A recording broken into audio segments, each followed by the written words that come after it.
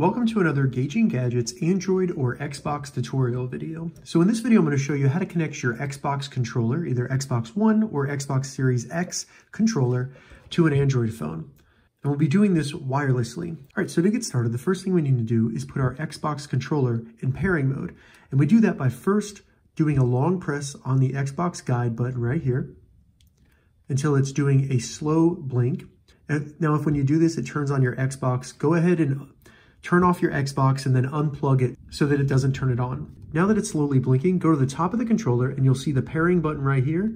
Just do a long press of that until the light starts rapidly blinking like this. So now our controller is in pairing mode.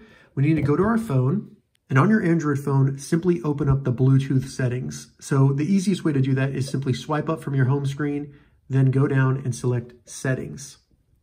In the settings, select connected devices, and then under connected devices, simply select pair new device. So now it's gonna look for the controller. And as you can see, it didn't take long. All we need to do now is select Xbox wireless controller.